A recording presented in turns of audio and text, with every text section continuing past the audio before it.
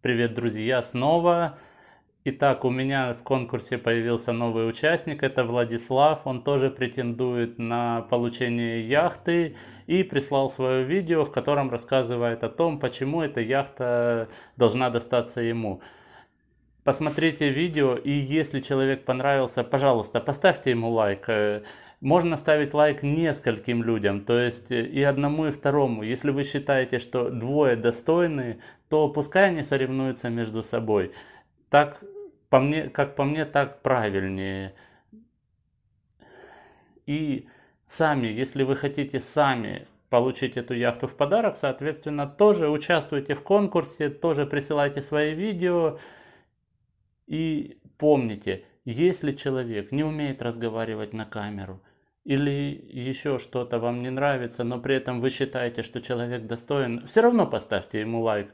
Потому что не все умеют рассказать правильно, не все умеют разговаривать на камеру. Я, допустим, тоже очень долго уже снимаю эти ролики, и все равно у меня очень много косяков на камеру. Постоянно я просто не знаю, что сказать, что называется перед камерой.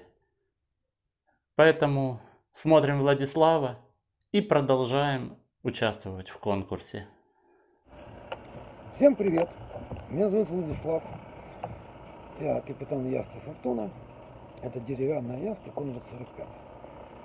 Хочу вам сказать почему. Я думаю, что я должен выиграть эту яхту. Потому что мне это интересно. Первое, я смогу сделать ее. Ну, все сделать то, что там необходимо. Я знаю, как это сделать. У меня есть команда, которая уже тренируется со мной, и я так понимаю, что они уже готовы самостоятельно ходить на яхте. Поэтому было бы интересно с ними походить на вашей яхте, привести ее в порядок, э, сходить в поход, ну, как минимум по Солеземке, а в дальнейшем, возможно, и замахнуться на кругосвет.